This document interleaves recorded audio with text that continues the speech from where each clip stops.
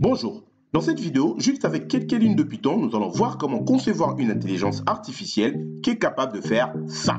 Bonjour Mathieu, je suis un droïde de la troisième génération et je suis Alexia. Maintenant tu peux te relaxer et écouter tranquillement. Oui, bien sûr, on va pas s'arrêter là. Apparemment, les codeurs, c'est des gros flemmards. Eh bien, on va donner du travail à notre droïde de nous lire un livre. Perso, je n'ai jamais été un fan de la lecture et je n'aurais plus qu'à mettre mes écouteurs, relaxer et écouter mon droïde lire le bouquin à ma place. Avant de commencer, si vous êtes nouveau, n'oubliez pas de vous abonner et d'aimer la vidéo si elle vous a plu. Activez la cloche de notification pour ne louper aucune de nos prochaines vidéos. C'est parti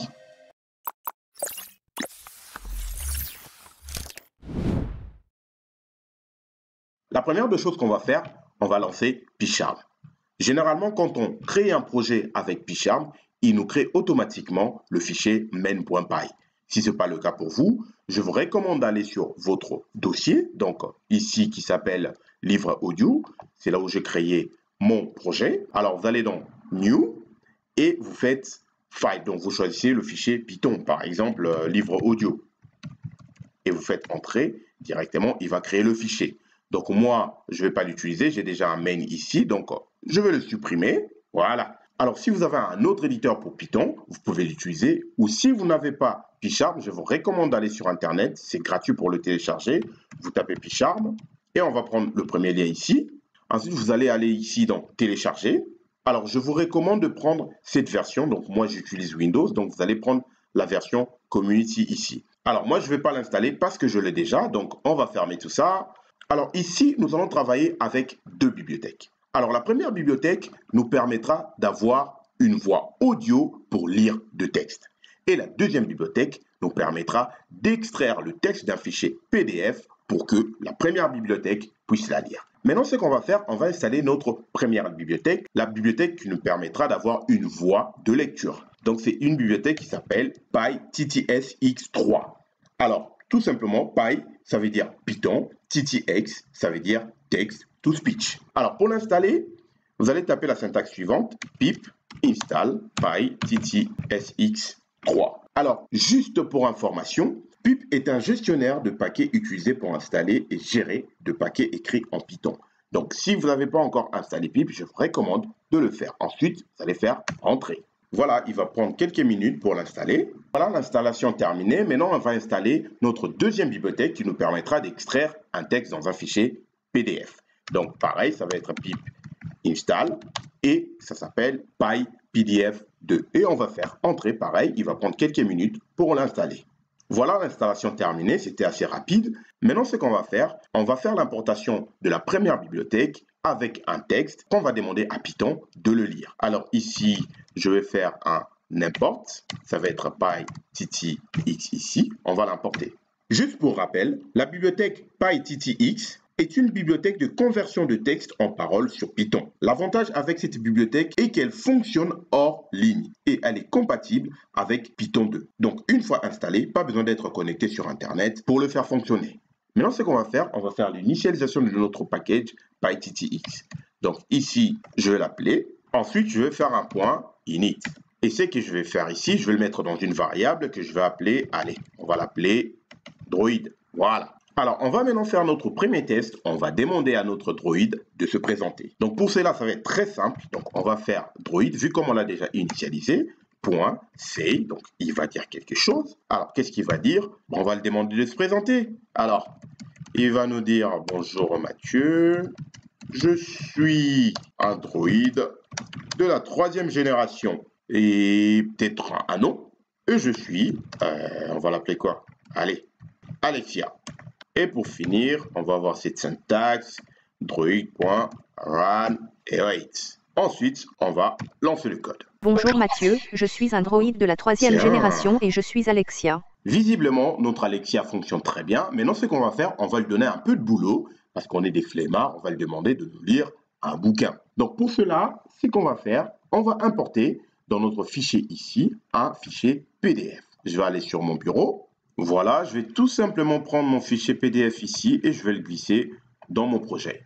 Maintenant, comme vous pouvez le voir, notre fichier PDF apparaît bien là-dedans. Maintenant, ce qu'on va faire, on va extraire le texte de notre fichier pour que Alexia puisse nous le lire. Alors, avant de lire notre fichier, on va d'abord demander à Python d'ouvrir notre fichier PDF. Donc pour cela, on va d'abord importer notre bibliothèque qu'on a installée tout à l'heure, donc le PDF 2. Donc on va ici demander d'ouvrir le livre. Donc on va faire une méthode ici, open, et on va demander de open quoi? Donc notre fichier. Donc notre fichier qui s'appelle Python PDF. Donc ce que je vais faire, je vais le mettre dans une variable que je vais appeler euh, tout simplement livre. Quand on ouvre comme ça, il faudrait qu'on précise à Python qu'on est sur un fichier PDF et qu'il puisse le lire de façon binaire, de haut en bas, de gauche vers la droite. Donc ici, on va tout simplement ajouter un RB. Donc maintenant qu'on a ouvert notre livre, on va demander à Python de nous lire notre livre. Donc ici, je vais créer une variable que je vais appeler lecture. Et ensuite, on va faire appel à PyPDF et on va utiliser une méthode. On va lui dire PyPDF, ben, tu vas nous faire une lecture de notre fichier, donc file reader. Et de quel fichier Le fichier qui est dans notre variable tout simplement qui s'appelle livre. Voilà. Donc ici, on dit à Python d'ouvrir le livre et là, on va demander à Python de nous lire le livre. Maintenant, je vais quand même demander à Python de donner une information qui est importante, ça va être en fait le nombre de pages de notre livre, parce que pour l'instant, on ne le connaît pas. Donc, ce qu'on va faire ici, je vais créer une variable que je vais appeler page, et on va utiliser une méthode. Donc, ça va être lecture. Notre lecture, on va demander ici le nombre de pages. Alors, par curiosité, c'est qu'on va faire également, on va faire un print page ici pour savoir notre livre à combien de pages. Donc, si je fais ça, ici, on va éviter qu'il parle, on va le mettre en commentaire. Et si je run le code, voilà, il nous dit qu'on a tout simplement une page. On arrive quasiment à la fin. Maintenant, ce qu'on va faire, on va demander à Droid de nous lire notre fichier PDF. Donc pour cela, on va d'abord créer une variable pour dire à Python où est-ce que le droïde va commencer à lire notre texte. Vu qu'on n'a qu'une page, on va utiliser la notion des indices. Donc ici, je vais d'abord créer une variable qui s'appelle début lecture. Et dans cette variable-là, je vais utiliser une méthode en faisant appel à la variable lecture. Et ici, je vais dire un get page. Donc, il va obtenir la page. Quelle page? Mais ben, Ça va être la page 0. Pour ceux qui ont des notions en Python, ils savent de quoi je parle. On n'a qu'une page. Donc, les notions à l'indice ici, si on avait trois pages, on aurait 0, 1 et 2. Donc, ici, si on veut, par exemple, commencer, si on avait trois pages, on va commencer avec la deuxième page, la lecture. Donc, ça ne sera pas 0, ça sera 1 parce que c'est des indices comme ça sur Python. Donc, ici, c'est 0. Ensuite, ce que je vais faire, je vais faire l'extraction du texte. Donc, pareil, je vais maintenant utiliser notre variable ici, début lecture, et je vais faire une méthode qui s'appelle extract text. Voilà. Et je vais le mettre dans une variable que je vais tout simplement appeler, allez hop, texte. Et on arrive à la fin, on va dire à Druid de say. Donc Druid va say quoi? Donc il va dire quoi? Il va tout simplement dire texte. Et texte c'est quoi? C'est le texte extrait de notre fichier, donc en précisant bien sûr où est-ce qu'on commence à extraire le fichier. Mais non, il va le dire. Alors, pour améliorer notre code, allez hop, ça je vais le mettre au début. Il va d'abord commencer par se présenter. Voilà, comme ça, ça sera plus propre. Et on va lui dire encore, tu sais quoi? Tu vas me dire encore quelque chose ici. Allez, hop. Ah, tu vas me dire quoi là? Allez, hop. Maintenant, tu peux te relaxer. Vu comme les c'est des. Voilà. Et tu vas écouter. Allez, hop. Je vais même ajouter tranquillement. Voilà. Et on va rendre le code. Go. Ah oui, petite erreur de syntaxe ici. On va enlever l'initialisation ici. Bien entendu, il faut initialiser tout au début. Voilà. On va le mettre là. Voilà. Hop. Et on va lancer le code. Bonjour Mathieu, je suis un droïde de la troisième génération et je suis Alexia. Et donc Maintenant tu peux te relaxer et écouter tranquillement. Chapitre 1.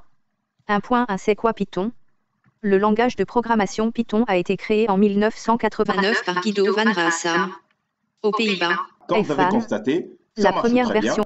vous avez la possibilité tout simplement de lire tout un livre en entier. Je pense que ça vous donne des idées. Vous avez déjà entendu cette voix parler quelque part euh, avec des livres audio, etc. Et tout. Donc, vous pouvez en créer des livres audio. Et ce que vous aurez à faire, c'est de mettre tout ça dans une boucle, par exemple, une boucle for.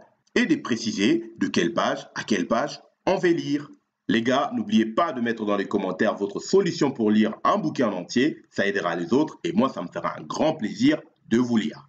Alors, si cette vidéo vous a plu, n'oubliez pas de mettre un pouce bleu, de vous abonner si ce n'est pas encore fait et d'activer la cloche de notification pour ne louper aucune de nos prochaines vidéos. So, stay tuned. À la prochaine vidéo. Ciao